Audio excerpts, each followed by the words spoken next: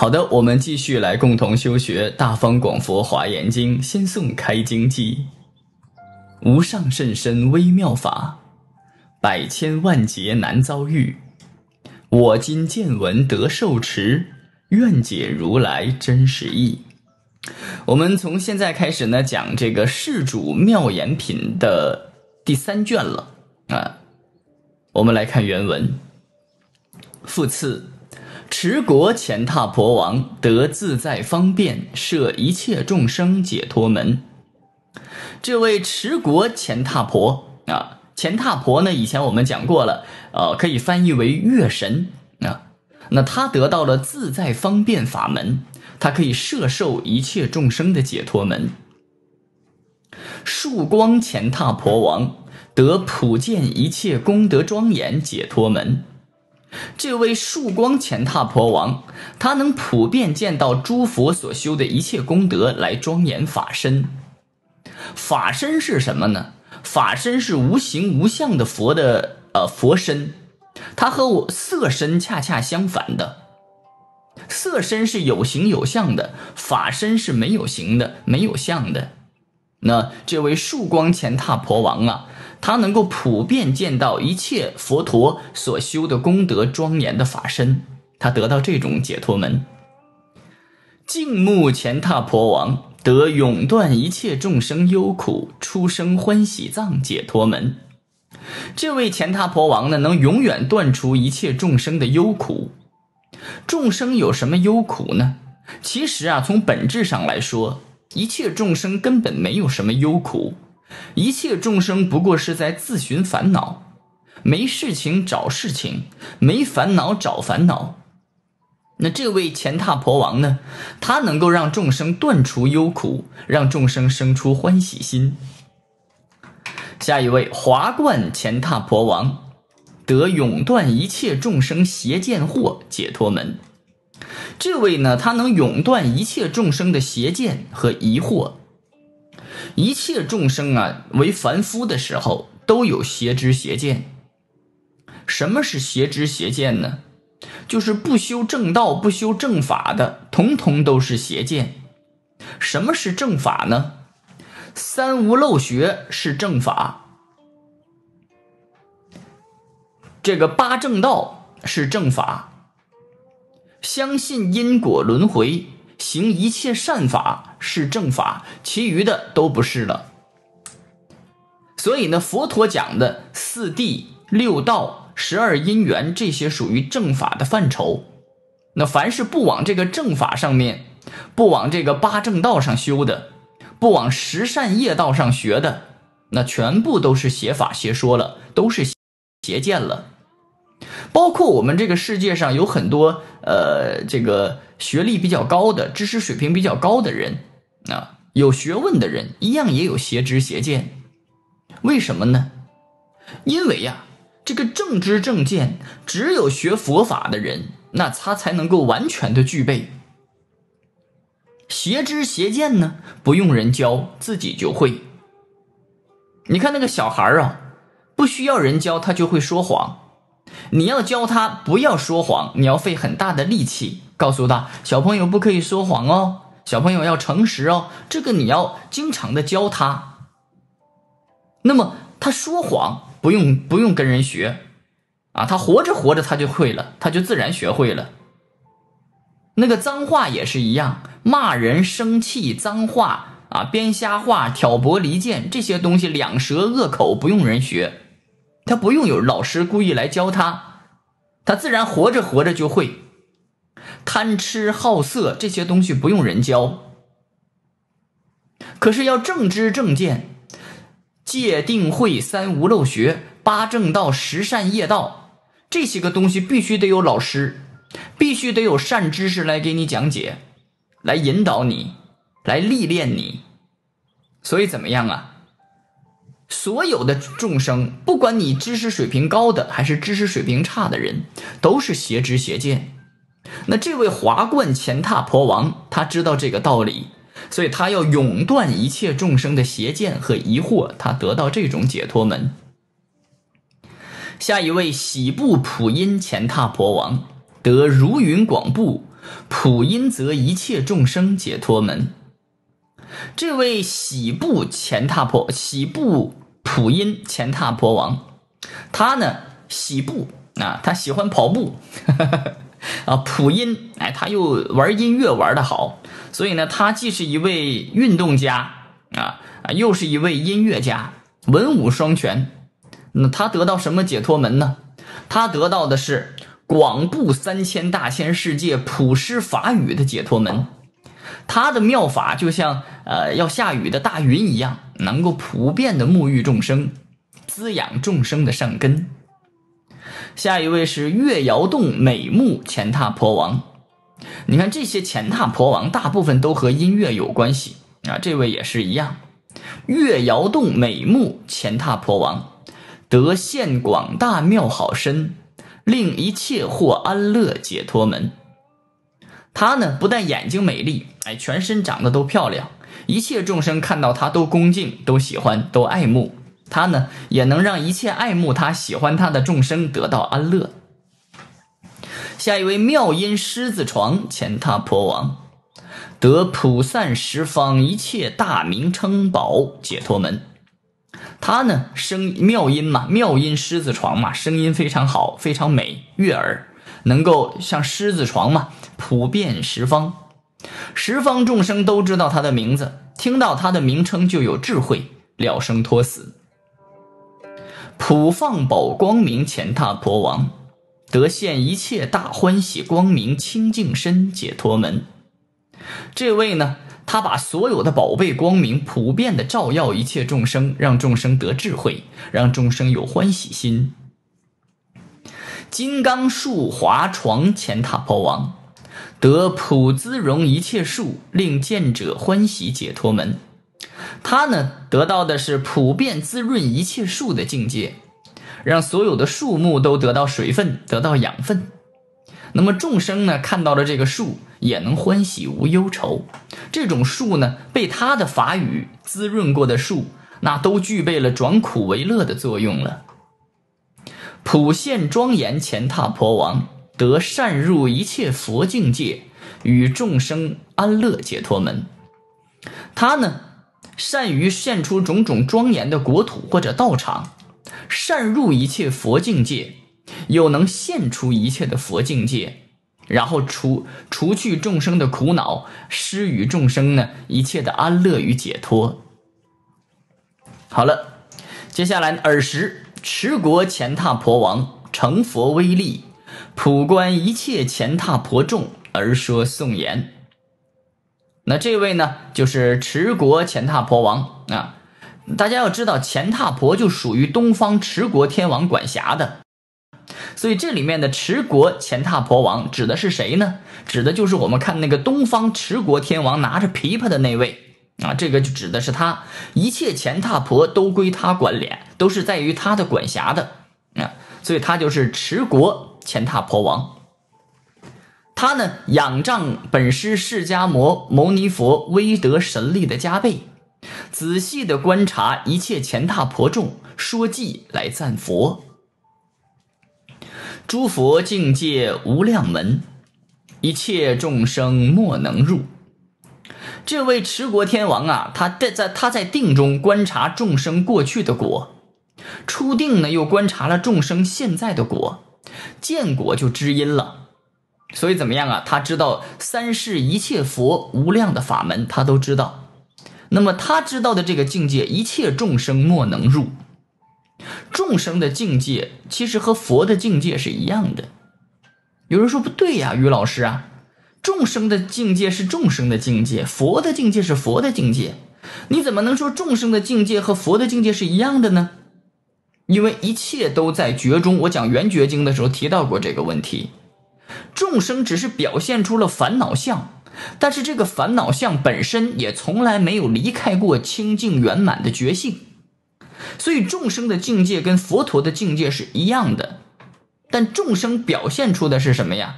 表现出的烦烦恼恼、争争吵吵、颠颠倒倒，而诸佛境界表现出的是什么呢？是清清净净的，是无为无不为的。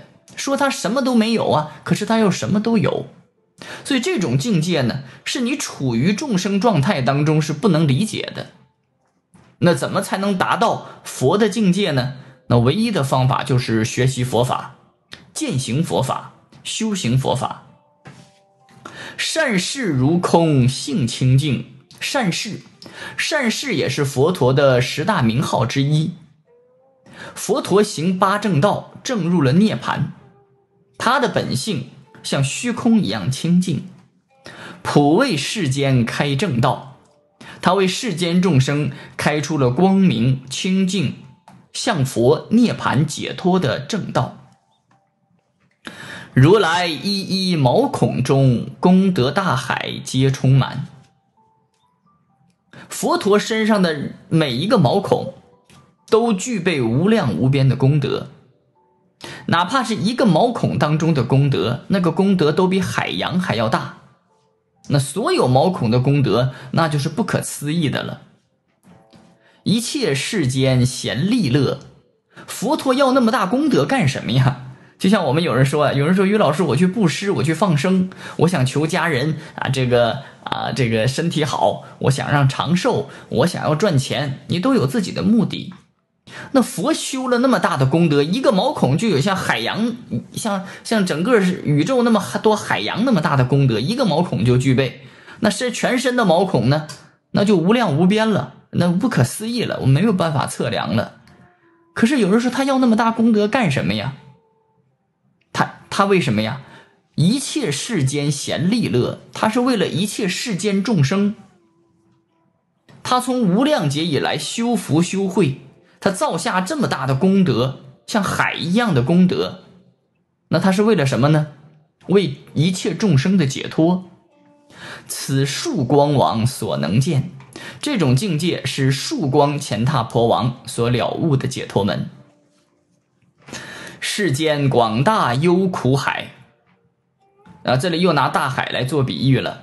我们佛经啊，经常要拿大海来做比喻，有的时候会说这个啊，这个众生的烦恼像大海；有的时候佛法无边像大海；有的时候梵音海潮音梵音啊，广传十方像大海。那这里面呢说世间广大忧苦海，这里拿众生的烦恼比喻成大海。因为咱们世间的众生啊，有情世间的众生，烦恼比大海还多，苦海无边，回头是岸。我们人生太苦了，人活在世间，百分之八十以上都是苦的。就小的时候啊，或者青春期的时候啊，二十多岁以前能体验到一一定程度上的快乐，后来往后啊，就不断的烦恼，不断的苦。有的时候我。我看这个，呃，这个我我我家也有一些亲戚，年纪到到这个五五十多岁了啊，他发朋友圈都是啥呀？都是在参加葬礼啊，他不停的参加葬礼，自己的这个同龄人呐、同学呀、同事啊，一个一个去世。你说他去参加葬礼，他那个饭他吃的踏实吗？也不踏实了，是吧？所以怎么样啊？到了一定年纪了啊，完全都是苦啊。呃，当然了，小时候也有小时候的苦啊，所以人生百分之八十以上都是苦的，不能说没有快乐啊。人生是人生之苦是十之八九啊，那怎么办呢？这么苦啊，回头就能觉悟，回头就到彼岸。什么是彼岸呢？彼岸就是佛的境界。那怎么回头啊？就是放下，把一切一切放下，放下了就得自在。为什么苦呢？就是因为放不下，为什么放不下呢？因为没有看破。为什么看不破呢？因为没有智慧。为什么没有智慧呢？因为你不修道啊。好了，最后我们就知道该怎么到彼岸了。首先你要修道啊，你得先听闻佛法，学习佛法，践行佛法，身体力行的去做，做了之后就有智慧了。有了智慧，你就把世间一切真相给看破了，看破了你就放下了，放下了这就叫叫干嘛呀？就没有忧苦了，然后你就自在了，就解脱了。所以千里之行，始于足下。你千万不要说哟，我最怕有人跟我讲说于老师，我现在还有点事儿，啊，我这个孩子还没大，或者是我这个生意啊还得还得再撑五年啊，我再待五年，待过五年之后，我就好好的要跟你学习了，我就放下一切来好好跟你学佛法了。我说行，我等着你啊，五年啊，啊，到现在都八年了啊，也没来呀，是吧？要不然，哎呦，我先等我孩子再大一大的啊，等我攒够一百万的啊，等我怎么怎么样的，你千万别这么说。千里之行，要始于足下。你觉得佛法好的时候，马上就要开始做了。能多做就多做，多做不了就少做。总归，所有的福德大海都是一点一滴积攒下来的，都是一步一步走出来的。佛能消劫悉无余啊！刚才说忧苦啊，众生的忧苦像大海一样，佛陀。能把这个大海给你枯竭掉。如来慈悯多方便，佛陀呀以慈悲教化众生，怜悯众生，会用各种各样方便的法门来帮助众生。我们学佛学什么呢？就学习佛陀的这种广大慈悲心。我们学佛有几个方面要跟佛，要跟佛陀学习。咱们得知道啥叫学佛，对吧？首先学佛，学习佛陀讲的法，学习佛陀成道的过程，学习佛陀的人格，学习各种各样佛陀的人，呃，这个在世间所行的各种法门和道。所以，我们学佛学的就是这些内容。那佛陀慈悲，我们就学佛的慈悲。佛陀呢，他是用慈悲心，我们也学习佛陀的慈悲心，给众生苦，给众生乐，拔众生苦。我们也得有怜悯心，同情众生的苦，可怜众生的苦，想方设法解除众生的苦。所以修道人第一个就得有这种同理心，有怜悯心。怜悯心，我相信大家都明白，看别人受苦你也难受，这就叫怜悯心、同情心。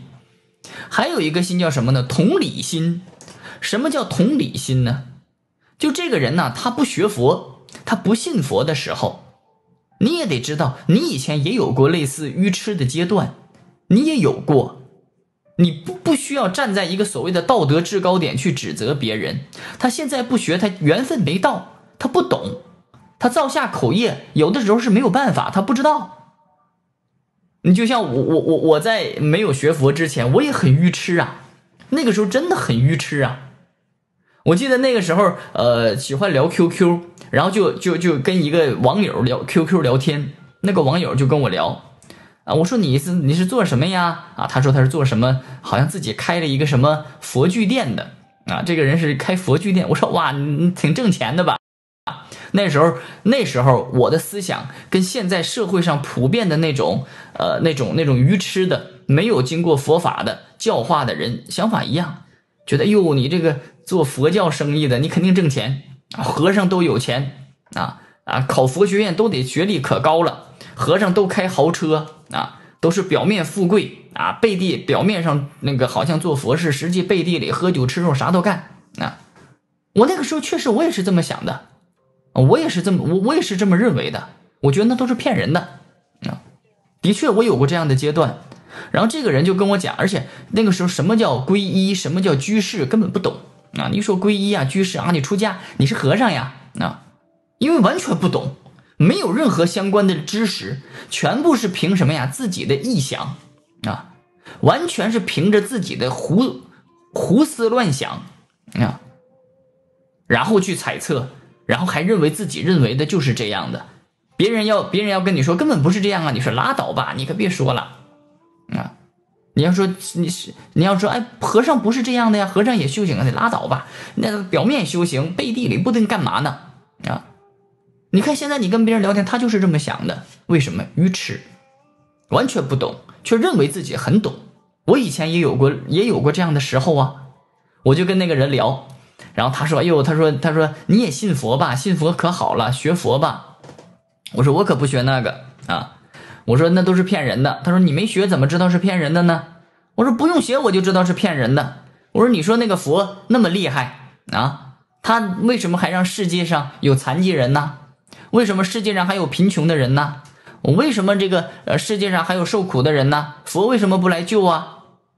然后那个人说：“是人受苦，佛教是讲因果。这个人受苦啊，贫穷、残疾，那是他有过自己过去世的因呐，他要自己救自己才行啊。”我说：“那就说明佛没用啊，自己救自己啊，自己活着好点比啥都强，用他来救，那就说明他不会救人，他救不着，他没用啊。”你看，对方说：“那行了。”人家就说了：“说行了，你不学，咱俩也咱俩也没必要聊了。”啊，我心想聊不过了吧？怎么样？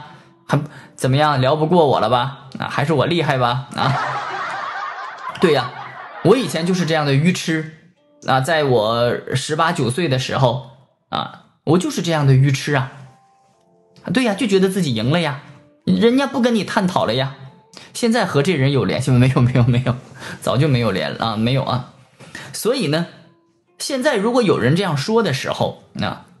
我不会生气，你也不要说站在一个道德的制高点上，哇，去批判他，去批评他，不要这样讲，因为你要有同理心，你没有学的时候，也也可能会有这样错误的思想，也有过，那怎么办呢？你看看能不能引导他，啊，能不能说服他，或者能不能让他也去了解了解，啊，甚至啊，怎么样啊，啊，不知道怎么回事你可以，你可以用他。啊，用你的这个一些想法，比如引起他的好奇心啊，因为为什么我记这件事记得这么清楚呢？因为过后我确实啊去思考过，他说的这个话呀，也确实让我有了一定的思考。虽然那个时候太愚蠢了，那个时候太愚痴了啊，眼睛上有层布还没有被揭开啊，那个时候确实很愚痴，所以有过短暂的思考。啊但是呢，还是觉得自己是想的对，还是觉得自己是厉害的。那么我们去跟别人，我刚才我说同理心，什么叫同理心呢？说这人现在不信佛、不学佛，可以呀，他可以呀。你现在他你缘分不到，你劝他没有用的，而且恰恰相反啊，你越是啊那么积极的去劝他，你越是积极的去劝，那反而越引起他的反感。你不如啊丢给他一句让他能引起他思考的话啊，不要跟他辩论，没有意义的啊。就像我刚才跟你说，我以前，我以前觉得自己很聪明啊，我学习很好的呀，我智商很高的呀，啊，人家就你说那玩意儿，我我我还能被你们骗了啊？那个时候要是哪儿要是去哪玩，去教堂，去寺院，人给我什么都不要，我怕被你骗了啊。当然了，现在你去一些旅游景区也有套路啊。那现在你去一些旅游景区，那仍然有套路啊。我心想，你还想骗我？你可骗不着我。你送给我什么护身符？我不要那玩意儿啊！你一会儿又你你回头要跟我要钱了所以怎么样啊？我们就去理解别人，这就是菩萨的慈悲。菩萨的慈悲是什么？就是明白你，明白你是怎么想的。所以现在有的人时候有有的人呢，我我记得呃有一个有有一个那个某一个人啊某一位居士请我讲课啊以前啊请我讲课呢，然后他那个呃就是吃饭嘛，那我到了接完我了，那总比如说我下午的飞机到了，那晚上总归要吃饭嘛，吃饭的时候他可能就会找几个找几个人来陪嘛，或者大家一起来吃饭，或者有人想见我的，或者。他觉得，哎，我请来一个老师啊，你们来陪我一起跟陪跟老师吃饭。那有不信佛的人呢，有杠精啊，他就觉得自己很聪明的人呢，啊，他上来就想，他想给你一个下马威嘞。他不仅不想听你讲，他还想给你讲课呢。他讲什么老师给我讲课，我还得给你讲讲课呢？有这样的呀？那怎么办呢？就理解他啊。你也不用上来就跟他搞搞得很敌对的情绪。我是来吃饭来讲课的，听不听是你的事情，对吧？我也没有必要在这个吃饭的这个场合呀教训你一顿。当然了，我也不想被他教训，那我就理解他，可以给他甩两句，引起他引起他想法的，想度化呃不不能说想度化他吧，觉得他还有点缘，有点善根，有点善缘，就让他好好思考，给他一两句话让他思考。觉得他没有善缘，笑一笑就好了。咱们今我就可以直接说了，今天咱们是吃饭来的，讲课是明天讲，今天晚上不讲课。我已经坐飞机很累了，今晚不是讲课的时候，想听课，明天可以来，就完了，就不跟他聊了啊。觉得他现在不到时候，就不能跟他讲了。如果觉得他还有点根气啊，可以点他两句，让他引起思考，让觉得哎，好像是这么回事儿啊。可能现在不行，一周后、一个月后、一年后，他自己去想一想，也可能还会再要要来学习的，都有可能。但是总归怎么样啊？你不要太着急啊，不要急于求成。同时怎么样呢？要有同理心，你要理解他，你也不要生气啊。你说，哎呦，你怎么那么愚痴啊？你下地狱啦？你造口业啦？你怎么怎么着了？用不着啊。你这么说，他更反感了。说，你看你说不过我了，又开始诅咒我了啊。你确也确实是大可不必。所以我们学，你看如来慈悯多方便，佛陀是慈悲的，是哀悯众生，而且有各种各样的方便法门，他有很多方法啊。他有的时候也不直接教化你，他有的时候反问你。你看那个《金刚经》里面呢，这个佛陀跟须菩提的对话，佛陀并不怎么回答他，恰恰相反，佛陀一直在反问须菩提：“如来有佛言否？”是呃，这个啊，如是啊，如来有佛言。如来有法言否？如是如是，世尊啊，如来有法言。你看，佛陀一直在反问他。他这是另外一种教化方法，然后佛陀还问他：可以以可以以身相见如来否？可以以三十二相得见如是那个可以三十二相得见如来？须菩提说：是的，世尊，可以以三十二相得见如来。然后佛陀说：如果三十二相能得见如来啊，那转轮圣王即是如来。须菩提说：哎，不对，不对啊。啊，如我解佛所说意，如果我我听明白了的话，那不可以三十二相得见如来，这么说对不对呀？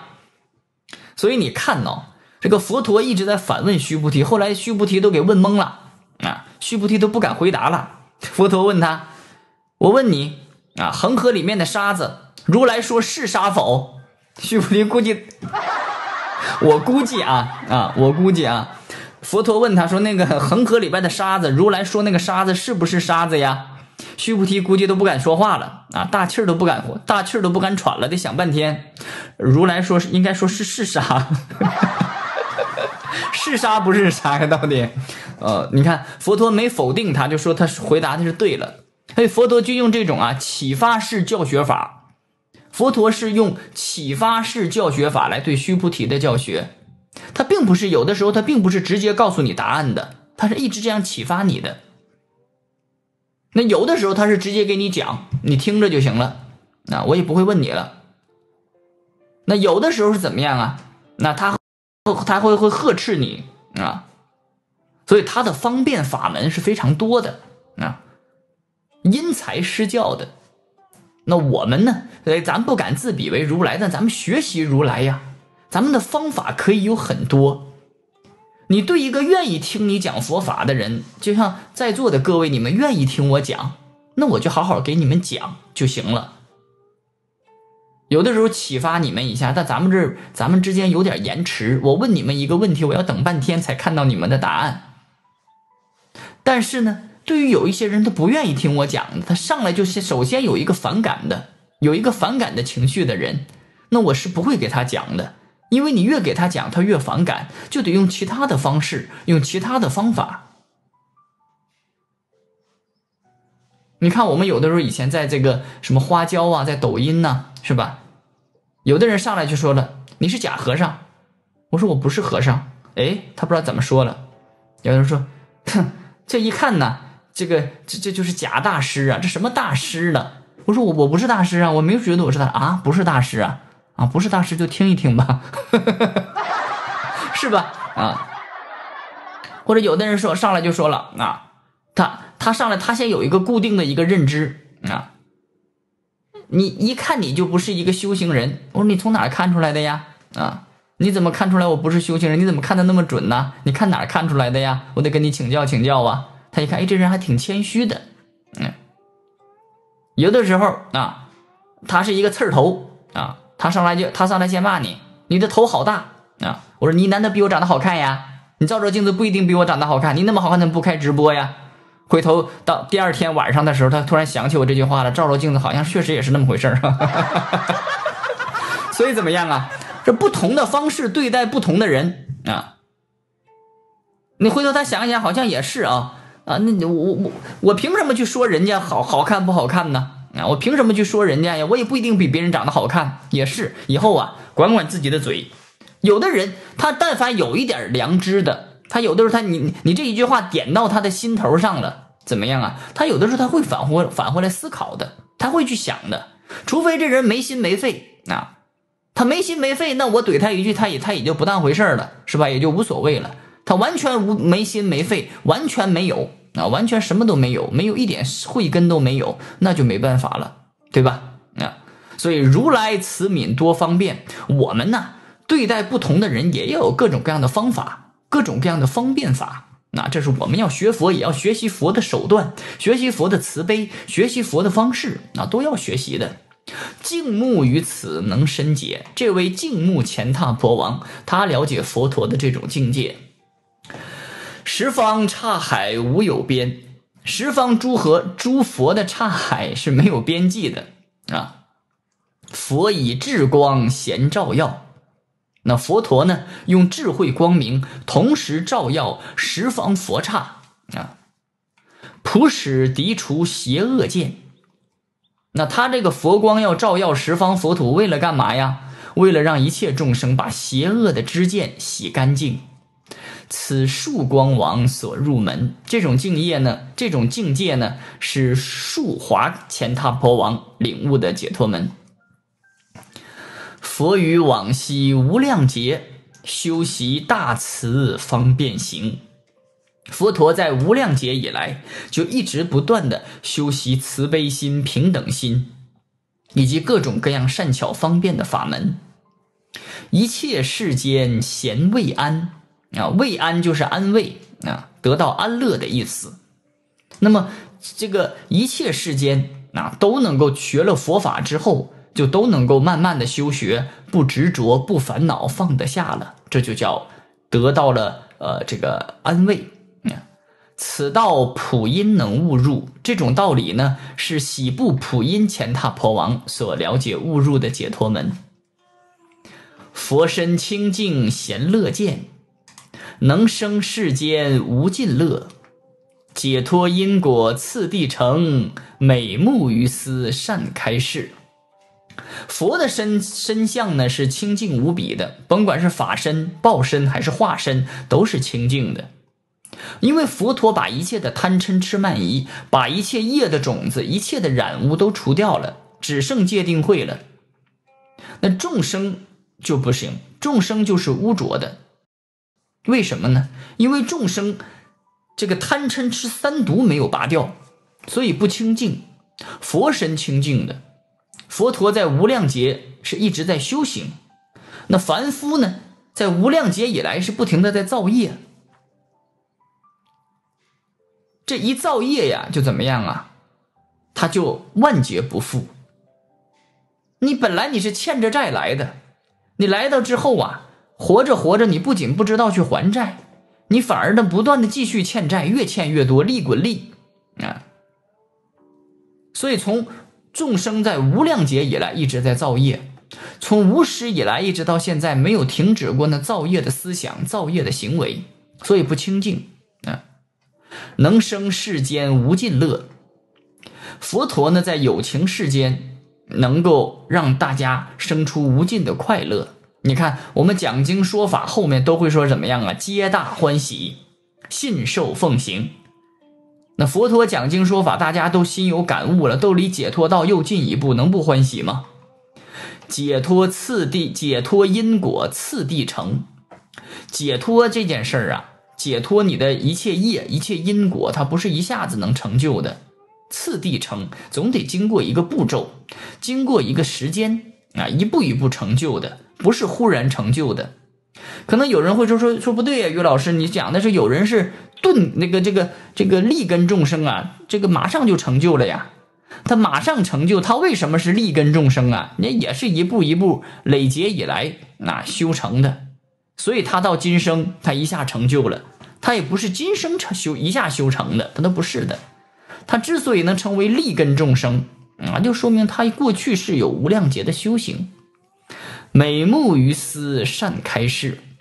这个呢叫月摇动，月摇动美目前踏婆王。那他呢明白这种境界。众生迷惑常流转呐，众生的迷惑太深了，一直在六道轮回当中啊反复的流转。众生啊，他太迷惑了，迷而不自知。像我们在座的各位，你知道修学，你知道来学习，是你迷呀迷，但是你知道，那这就已经进一步了。你知道自己迷了，那你就有解脱的机会。怕的是什么呢？迷而不自知。你迷了不觉得迷，那你什么时候能解脱呢？那就没有时候了。所以众生的迷惑太深，自己不知道或者不承认，不知道迷就不可能觉。就像你一个人犯错，你不觉得自己错了，你什么时候能改呢？你不可能改呀。你比如说你在那个农村啊，你在农村随地吐痰，没有人觉得有什么问题，谁都那么吐。到哪去了？啊，抽那个农村那个大那个那个老汉，他抽他那个抽那个卷烟，抽着哈就随地吐痰。他会觉得自己错了吗？不会呀，他那个环境就是这样。嗯，他们那个年纪的老汉们，或者是他从小就在这个环境当中长大的，也没有人觉得有什么问题。他不知道错，他什么时候能改呀？他一辈子也不会改呀。他为什么要改呀？那没错的事改什么呀？可是，如果这个这个老汉有一天到了到了这个啊，比如说儿子啊进城了，娶了一个城里的老婆，对吧？那他到他他一到城里了，啪啪，人家往那个往人家地板上吐口痰，那人家儿媳妇能让吗？肯定不行吧？那儿媳妇不好意思说，肯定跟老公讲了，说那个那个那个那个，你得跟你爸讲一讲，我们家这个地板，这个地砖是吧？这么干净的，他怎么能往地下吐一口老粘痰呢？那不行啊！那儿子跟他说说，农村吧，嗯嗯，没没啥事儿，在城市里，你看家里收拾的这么干净，一尘不染，它不卫生啊，你不能往地下吐啊。他说，哎呀，还有这个规矩呢，以前不知道，知道了以后怎么样啊？他可能改不是一下子就改了，但他至少他知道要改了，他知道一步一步的要把自己的这个错误的习惯、不好的这样的随地吐痰，有痰吐吐出来纸包上。放到哪里去，或者怎么样丢掉？他知道了，那他是不是就有机会改掉了呀？一切众生的从迷归觉，都要有一个认知的过程。我们会跟这个过程叫觉醒，跟这个刹那叫觉醒，就是觉得自己迷了，觉得这个虚妄的世间要出离了，觉得这个世间的苦太苦了，如何解决这个苦？生从何来，死往何去？去思考生命的真谛了。思考生命的真实意义了，这个就叫觉醒的瞬间。有人说觉醒就是成道吗？不是，觉醒就是认识到了。就像我说的，有人告诉你，你这随地吐痰不对啊，你从现在开始知道了，我得我得开始要怎么能能改进改正这件事儿了。这个就是觉醒。那每个人的觉醒都不一样。有的人是因为生病这个机缘觉醒了，有的人是家里出事儿了觉醒了，有的人是失恋了觉醒了，有的人啊啊是这个是这个家里面啊给他讲的，有人遇到善知识了，给他啊让他觉醒了。每个人觉醒是不一样的，但终归觉醒是好的。什么是觉醒呢？就是认识到了自己现在不足，有问题，这个世间是虚妄的，或者太苦了要出离的。而众生迷惑的太深了，你不觉得自己迷了，你怎么会想要觉呢？一定是认识到了，我现在迷了，我是凡夫了，我想要解决生老病死，我要解脱人生的苦了，你才要追求这个觉，不然的话你是没有这个机会的。就像天人道啊，天人道太快乐了，他不觉得自己迷，他也不觉得苦，他也没有什么可要解脱的，那他怎么会继续往上升呢？那有人在讲佛法，那他会想什么呀？他会他会想真的吗？他讲的啥呀？啊，骗人的吧？你给他讲正法，他就怀疑的人就一定会多；你要给他讲邪法，他就不怀疑，他反而会觉得是妙法。你看这个世间呢，动不动就有那个那个那个什么这个这个班儿那个班儿啊，财富学习班儿。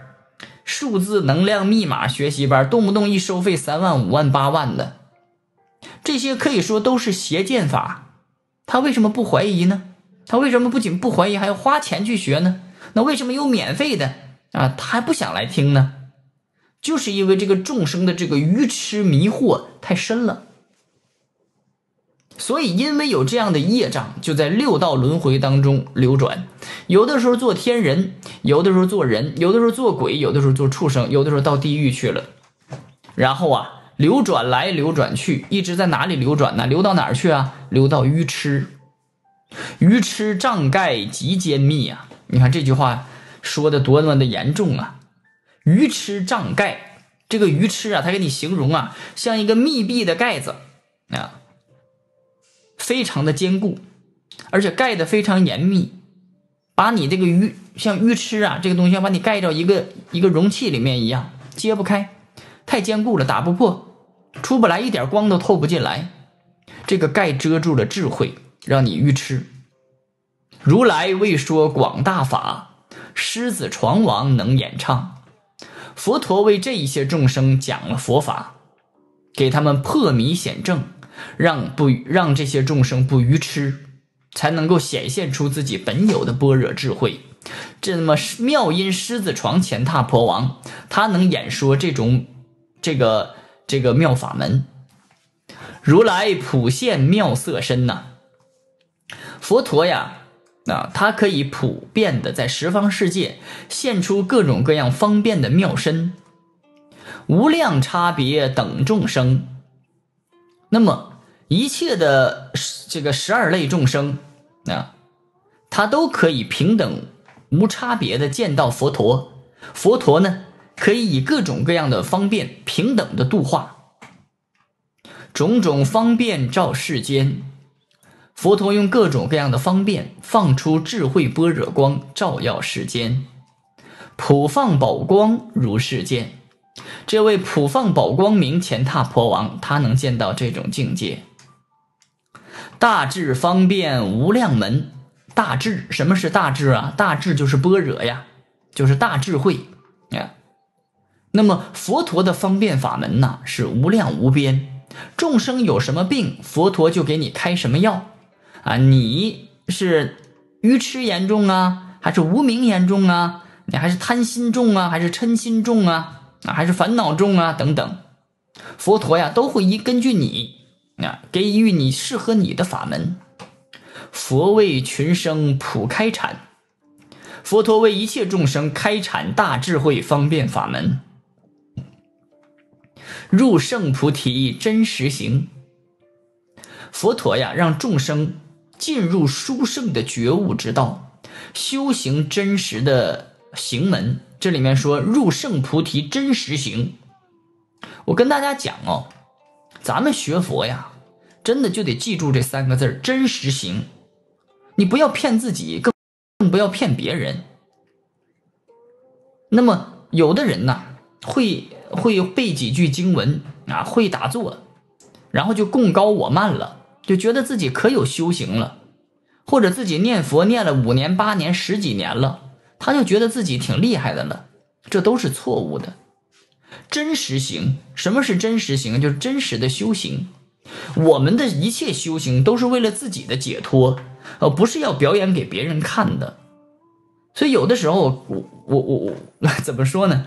有一些人我会看到，确实能，我们大家你们也能看到，有一些人呢，纯属是在表演，他的所有修行都是表演给别人看的，那不是他的真实功德。那你凭真实的道德、真实的功德、真实的学问，那才有人佩服你。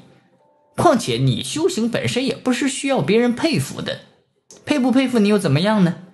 假使全世界的人都佩服你，但你死后下了地狱了，你也没有得到真实的解脱，佩服你，你那也是假的，对吧？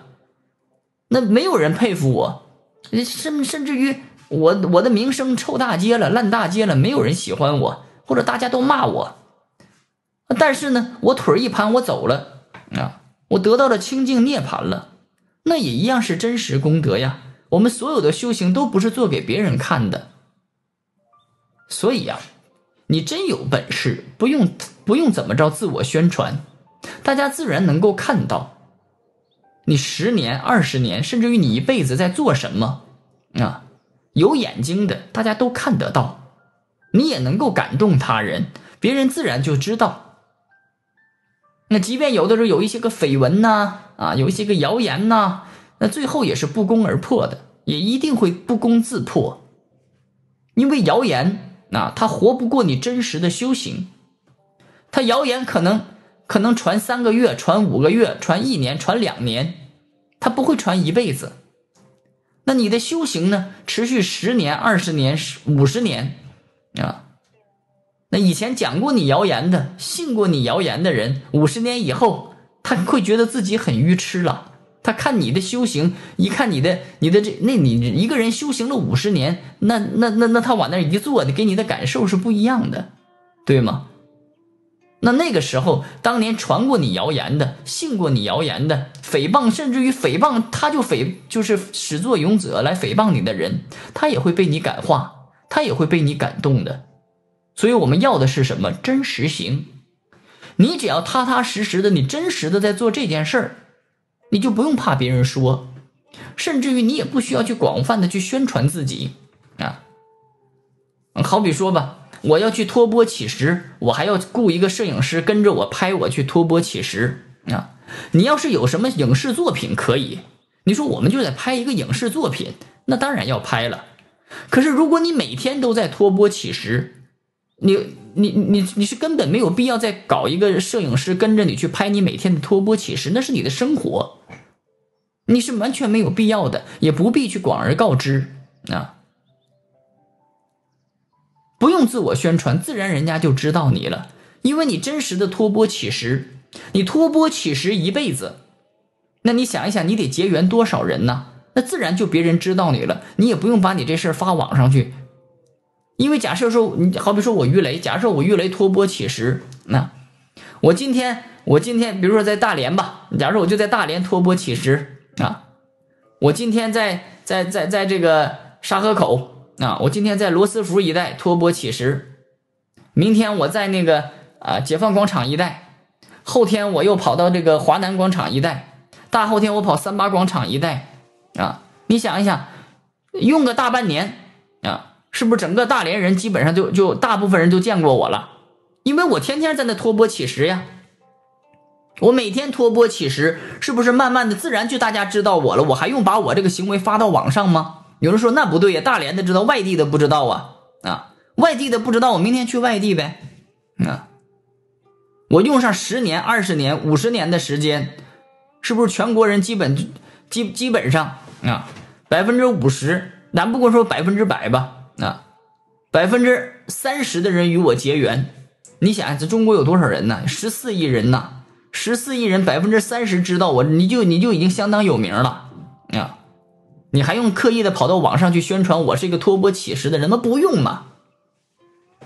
如果你如果你呀非得去宣传自己，啊，就像你说的啊，我还打赤脚托钵乞食，非得这么宣传，说明那不是他的生活，说明他平时不这么干啊。为了表演，啊，为了表演给大家拍一个这东西，告诉你看我啊多精进修学，他真是这么干的，他每天就这么弄啊。他这么行上了十年、二十年，中国人自然就会知道有这么一位僧人，不用他自己宣传，他说都不用说，啊，还用宣传吗？不用啊，他能结缘的人那都非常非常多了，那自然是一传十，十传百，他不用往抖音上发，根本不需要。恰恰呀，怎么样啊？故意这么拍，还像你说的，还刻意特意的光脚啊，还特意的去光脚，根本用不着啊。咱们这不是印度，印度人光脚不是没有鞋，佛陀不是没有鞋，佛陀有鞋，他想穿金鞋都有人供养他，是因为印度人没有穿鞋的习惯，所以他那叫光脚。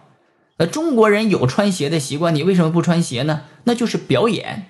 咱们大家有要有智慧，你要用慧眼去观察一件事儿。佛陀想穿鞋，有的是鞋，金鞋、银鞋、宝鞋。这个这个镶嵌宝珠的鞋，那个国王大臣想捐给他，有的是。国王他也不穿鞋呀，因为印度人他就没有穿鞋的习惯，他太热了，他们不喜欢穿鞋。所以，那中国人中国人穿不穿鞋呀？大家都知道，从小都要穿鞋。那你是中国人，你就穿鞋就完了。那就算佛如果升到中国了，他也就不会，他他也不会光脚出去托钵乞食呀。所以这就干嘛呀？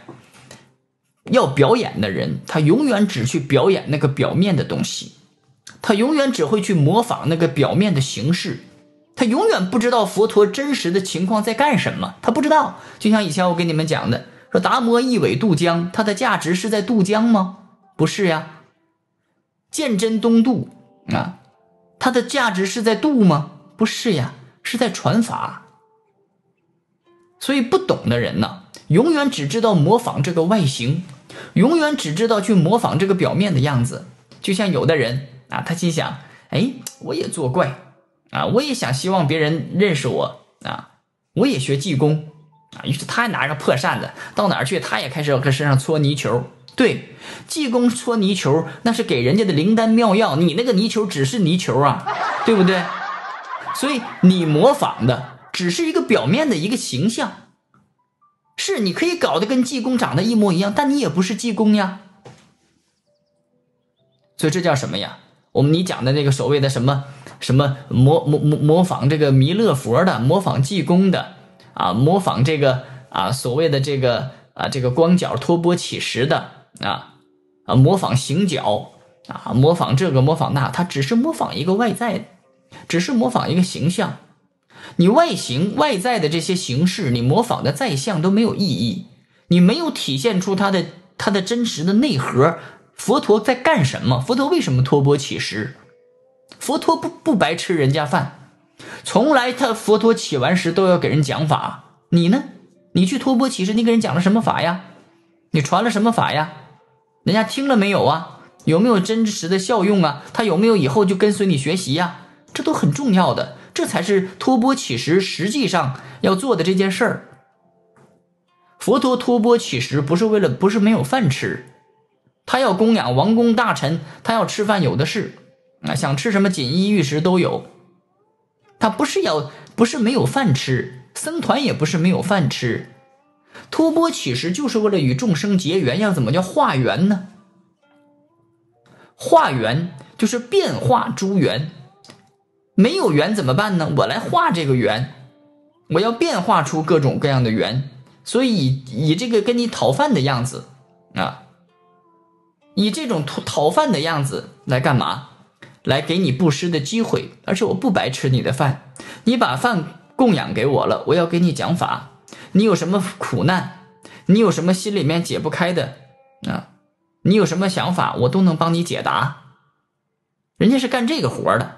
那佛陀是来教化众生的，是以托钵乞食这种形式，也告诉他弟子们与众生结缘、教化众生的。那你只是光着脚拿个钵跟人家要饭，你也不传法，你也不讲法，你讲了人家也不爱听啊。那你是什么呢？你就只是要饭的，那就只是很单纯的要饭的。所以我们讲真实行，我们学佛法啊。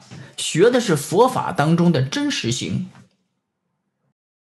有的时候我们可能需要包装一个外壳，有的时候是需要的，但你包装这个外壳不能仅仅包装外壳，你得知道你真实的你，你你这件事你要体现什么价值，它的真实价值是在干嘛？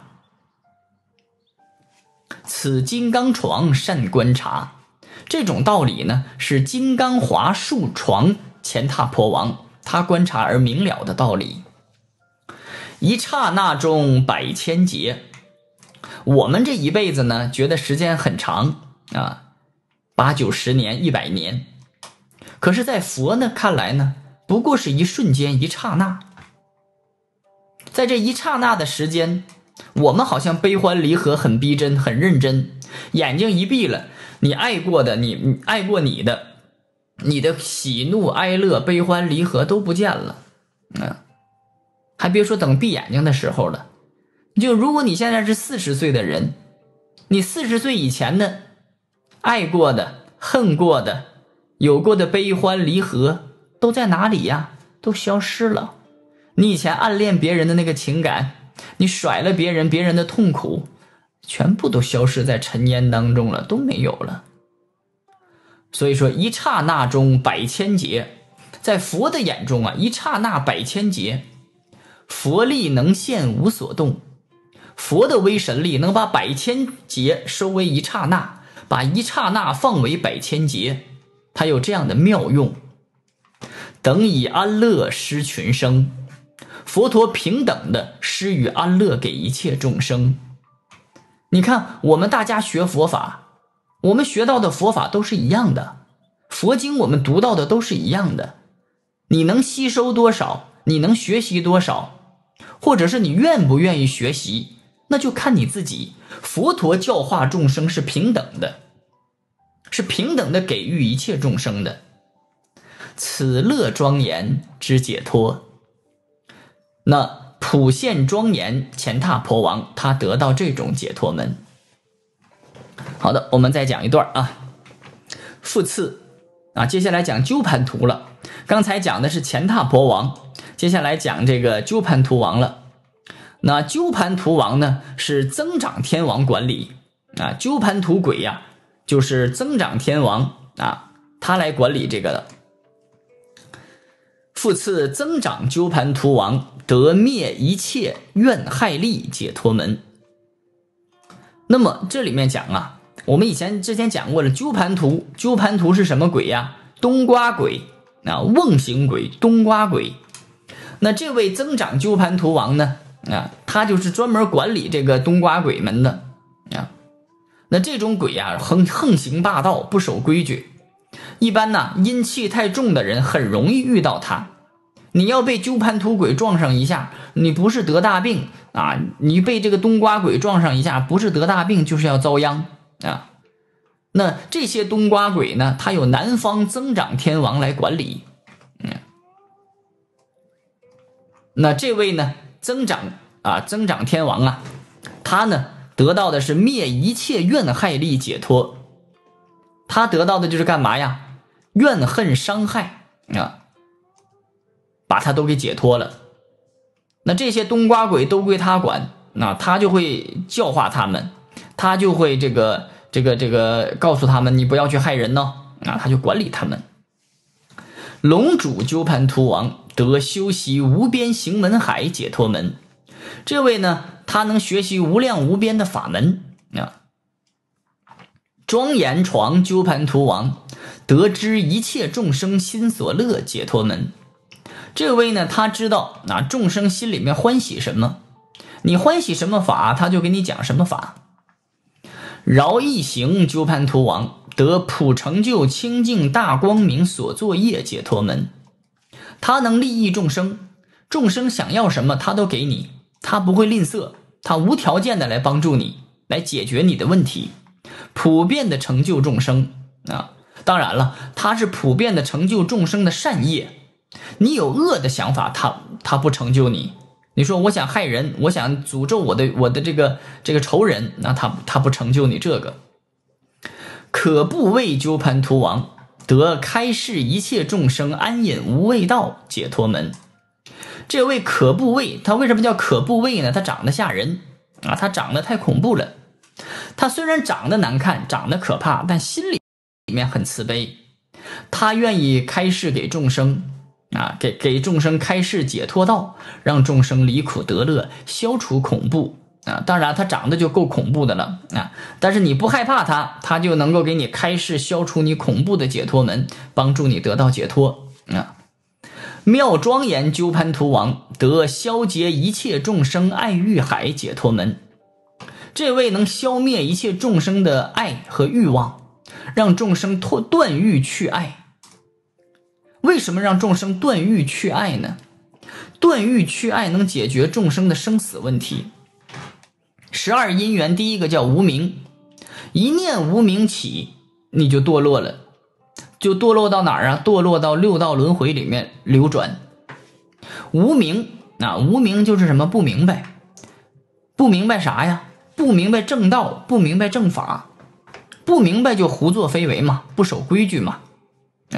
我们读《地藏经》啊，说这个众生这个思想啊，无不是念，无不是罪，何况自情杀害、邪淫、妄语。我估计啊，在两千多年前呢，佛陀讲这个话出来的时候啊，大家肯定理解不了。为什么理解不了呢？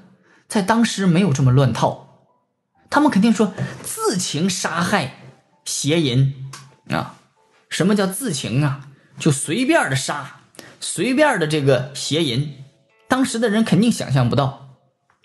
说随便邪淫呐，说说想跟谁就在一起，就想想跟谁上床就跟谁上床啊，那哪可能啊？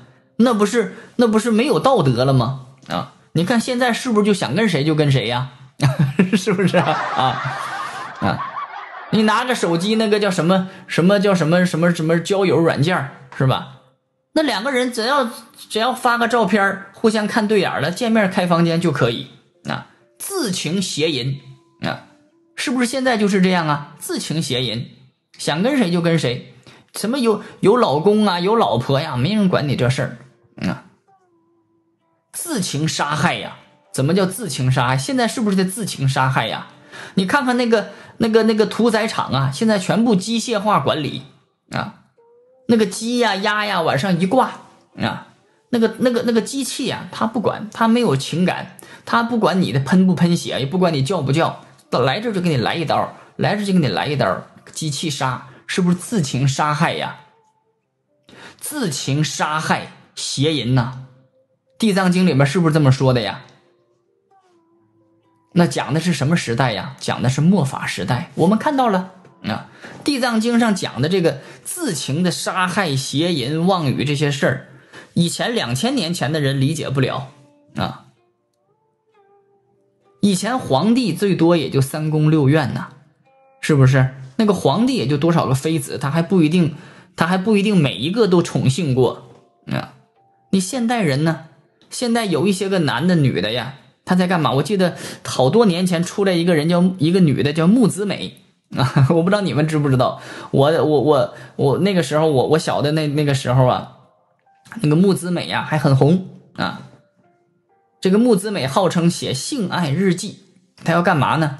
他说全世界每一个国家的人，男人啊，我都要至少睡一个啊啊，专门收集男人啊，说什么？而且先收集中国各个大学，说中国每一个大学的男生。啊，这个学生男的我都得啊，至少睡一个。后来说全世界每一个国家的啊，管他大国家小国家，每一个国家男人我都得都得都都有过一一一一一个啊，写专门写性爱日记，然后写这个给出名的啊，就有这么一位。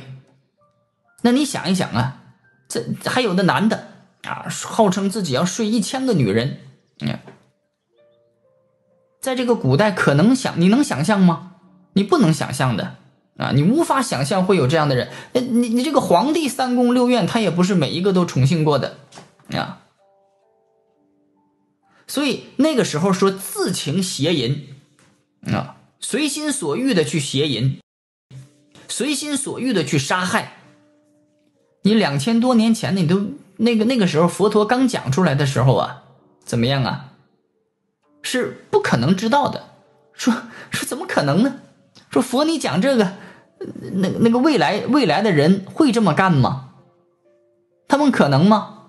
啊，可不可能啊？你说可不可能？现在我们看到的就是有这样的行，就是有这样的事儿，就是有这样的行为，所以这就叫无名。因为无名，就是胡作非为，不守规矩，各种欲望啊，不断的制胜。欲就是自己想得到的，我想做的，我想得到的，我就去做。啊，你看看现代人是不是就这样啊？什么因果啊？哪有因果？他不相信的，不相信因果，那他是不是什么都敢干，什么都敢做？那就叫自情邪淫，自情杀害，自情贪欲，像大海一样。欲望这个东西是无法填满的。我们看看那些个完全没有信仰的老头，我那天给你们讲的，他没有信仰他也不信因果。那个老头可能都已经丧失能力了，那他还要跑到那个舞厅里边，他搂一搂、抱一抱、摸一摸啊，他他丧失这个能力都丧失了，他还觉得我要我要抱一抱、摸一摸，他还觉得他还还能满足他的这个这个这个这个这个这这个这个淫念、这个邪念、这个欲望，那所以怎么样啊？这种欲望这种东西，他什么时候能满足啊？满足不了的。没有能够满足的时候，能力都丧失了，他还想要去满足呢？那你想一想，他什么时候能满足呢？没有满足的时候。那这位妙庄严鸠盘图王，他是消劫一切众生爱欲海啊，他能够帮助一切众生的爱欲海干枯掉，让大家正得清净。还有老太太呢，老太太我就我就不讲了。好吧，老太太的事儿你们自己去想吧，我就不讲这老太太的事儿了啊。啊，因为老太太我也不怎么接触，我也没接触过什么老太太啊。高峰会鸠盘图王得普现诸趣光明云解脱门，这位呢叫高峰会鸠盘图王，他的智慧非常高啊，像高峰一样，像高山峰一样，他呢能够普遍的现于十方法界。在一切法界当中化现各种各样的光明云，让一切这个六道众生啊啊，就得到这种光明云的照耀，开智慧。下一位叫永见壁鸠盘图王，得普放光明灭如山重障解脱门。他呢啊，得到了普放光明的这种境界，让一切如山般重的业障都消灭掉。他得到这种解脱门，修道人的心有的时候是不坚固的啊。为什么不坚固呢？就是因为业障太重了啊。业障重的人，他就会障碍修道的心。比如说吧，有的人学着学着不想学了啊，懈怠了，不爱听了，或者越学越困了，学着学着自己这个身体呀又不好了，啊，这就是什么呀？障碍。你一修道就来障碍，那为什么这不是别人给你的障碍，也不是道给你的障碍，是你自己的业障给你的障碍？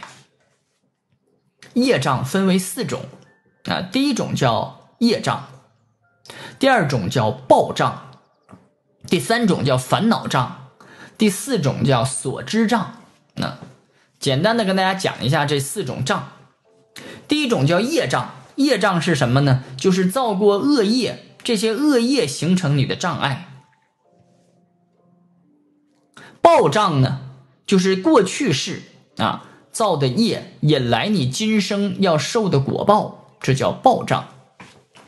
烦恼障呢，就指的是你自己的各种愚痴和嗔心脾气啊，把你自己的忍耐定力给消除了。所知障啊，就是你自己觉得自己比别人知道的多啊。自己觉得自己做的比别人都对，这叫所知障。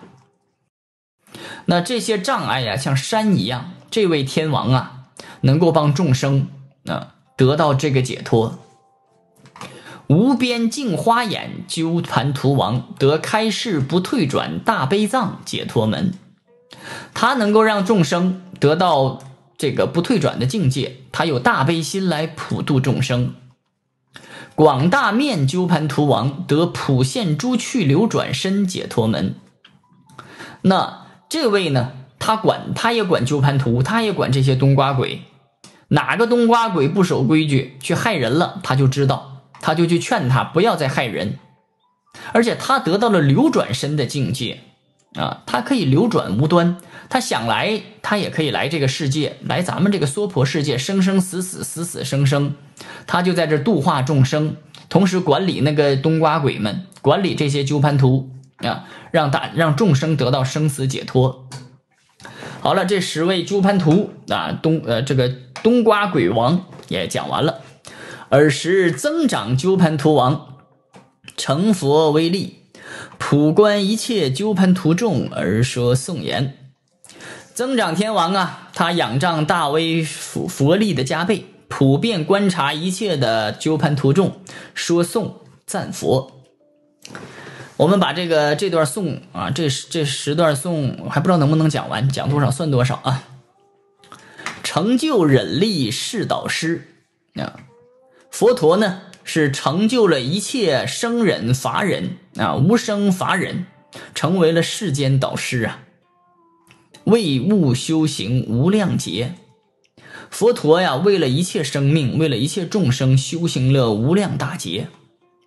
永离世间骄慢惑，永远离开了世间的骄傲、我慢、迷惑。是故其身最严净，所以佛陀最清净，他得到了最清净的法身、报身、化身。佛悉普修诸行海，佛陀在过去无量劫中啊，那么什么法他都修行，他修行一切法门。教化十方无量众，那他教化十方无量众生啊，种种方便利群生啊，他有一切的方便法门利益众生。此解脱门龙主得，这个呢，龙主鸠盘荼王得到的这个解脱门。佛以大智救众生，莫不明了知其心。佛陀是大觉者啊，他以大慈悲、大智慧救度众生。佛能完全知道每一个众生的心，种种自在而调伏啊！佛陀呢，他用各种各样的神通、自智慧、自在，那么根据众生啊啊他的需要来救化。严床见此生欢喜，庄严床鸠盘荼王见到这种境界，生出欢喜心，神通应现如光影。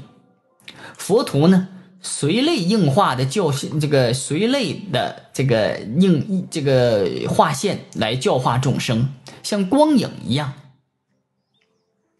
法轮真实同虚空啊，佛陀讲法呀，他的这个转，他是真实的，但是呢，你也不要执着真实的有一个什么可转，你也不要真实的以为有什么众生可度。你有所执着，就变成了法执。如是处世无央劫啊，佛陀呢一直在这个无量大劫里面啊，这个教化世间。此饶益王之所证，这种境界是饶益行鸠盘荼王证得的。众生痴意常蒙惑，众生糊涂啊，颠倒啊，看东西看不清楚啊。看不到世间的真理实相，那都被蒙蔽了。被什么蒙蔽了呀？被自己的无名蒙蔽了。佛光照现安隐道，佛法能够给我们照亮我们的正法之道，为作救护令除苦。佛陀作为众生的慈父，众生的导师，解除一切众生的苦，可谓能观此法门。可不为鸠盘荼王，就长得很丑的那位，他明白这个法门。欲海飘沦聚众苦啊，欲望的海，欲望就像大海一样啊，一切苦都在这里呀。智光普照灭无余，佛陀的智慧光明能够普照六道，消灭一切众生的苦，即出苦以为说法。佛陀不但是解你的难、除你的苦，主要他给你讲法呀，他让你明白真正的世间真相啊。此妙庄严之所悟，这种境界呢，是妙庄严鸠盘荼王悟得的。佛身普应无不现，佛身是十方世界无不去的，十方一切世界都要有佛出世，种种方便化群生。啊，这我就不说了，大家就这种呃，这种就是太明显的这个句意啊，各种各样的方便啊，来度化众生。音如雷震欲法语，佛陀说法的音声像打雷一样响亮，普遍的降法语啊，让所有人都受益。如是法门高慧入，这样的法门呢，是高峰会鸠盘陀王悟道的。清净光明不唐发啊！佛的智慧清净光明，它不会白发出来的，发了就一定要有人受益，一定要有众生得利益了。就是我们说不唐捐，唐捐就是那个我们读那个普门品不唐福不唐捐，你所获得的福德不会白白的捐掉，不会白费啊，唐就是没有了啊，所以这里说清净光明不唐发，他的清净智慧光明不会乱发啊，不会虚发的，一发必中啊，消除众生的业障。若遇必令消重障，你遇到了佛陀的清净智慧光。无论有多重的业障，都能消除。演佛功德无有边呐！想讲佛陀的功德，那可讲不完。永必能明此深理，永见必鸠盘荼王深深的明白这个道理。为欲安乐诸众生啊！一切众生在苦海沉沦，佛陀要让众生得安乐。修习大悲无量劫，佛陀自己受苦，想为了救众生，自己受苦，无量无边的受苦修行啊，修行了无量的大劫，种种方便除众苦。佛修大悲行啊，用各种方便来解脱众生苦恼，如是净华之所见，这种境界是无边净华眼鸠盘荼王见到的明了的。神通自在不思议呀！佛陀的神通自在无量无边不可思议，其身普现遍十方啊！他呢的化身啊，能够普现十方，而于一切无来去啊！他呢虽然普现十方，但是呢他是不来也不去，他没有从十方来，也没有到十方去。如来者无所从来，亦无所去。佛的神通自在妙用，在道场中不动于坐，就能到十方世界演说妙法。就像我坐在家里啊，我根本没动弹。你们在祖国各地，甚至于在国外，你只要点进来，你就能看到啊。佛陀呢，不用网络，不用 WiFi，不用手机啊，佛陀就能做到。十方世界众生不起于坐，都都能见到佛，都能闻到法。此广面王心所了。这种境界是广大面鸠盘荼王所得到的三昧所了解到的解脱道理。好了，我们看鸠盘荼王啊，这个四大天四那个四王八部众啊，我们现在呢啊讲了两个了，那剩下的呢我们下一集再讲。我们看到讲了这么多了啊，我们看大家有没有发现一个问题呀？佛陀特别会起名字啊。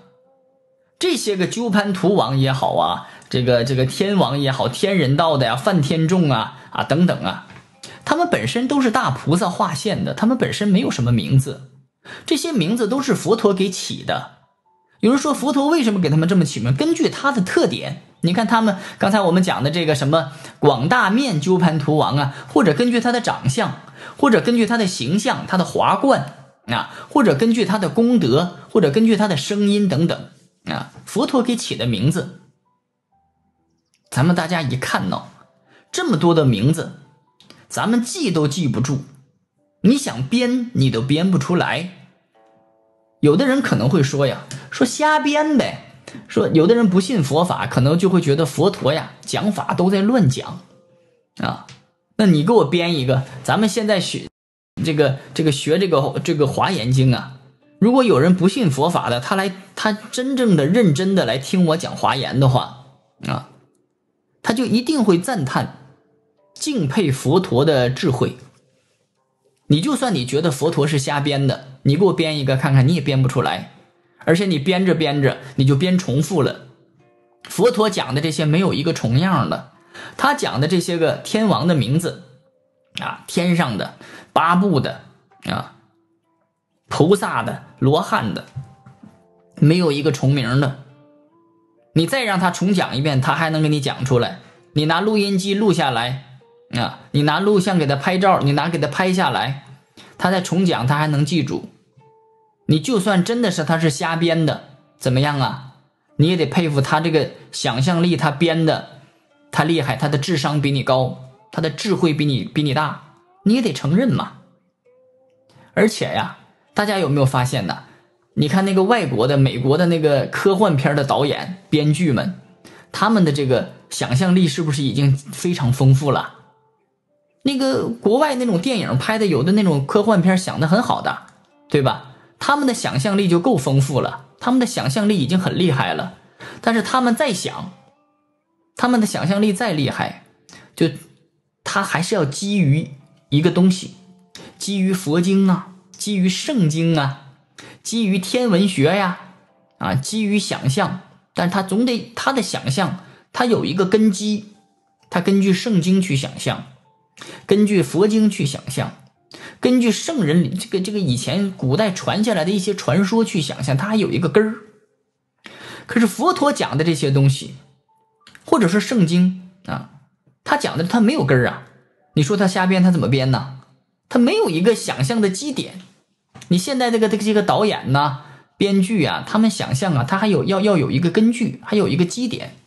佛陀那个时候他想象，你说他是瞎编的，他想象的，他没有基点，他怎么可能想象呢？他没有办法去想象这些东西，也不是想象能想象出来的。你就算你嘴硬，非得说他是想象的，那他能想象出这么这么多个东西来，且流传了几千年，他这个智智慧也值得我们学习。大家说是不是呢？所以啊，当然我们佛教徒，我只是说啊，对那些个不信的人，要告诉他们，你觉得他是瞎编的，他是想象，你给我编一个出来呀，你编不出来。所以，我们看到啊，佛陀讲的这些，一切都是完完全全真实不虚的。不仅佛陀所说所言是真实的，他所行的一切功德，他所成就的一切涅槃解脱，更是真实不虚。我是鱼雷，下期再会。鱼雷作品。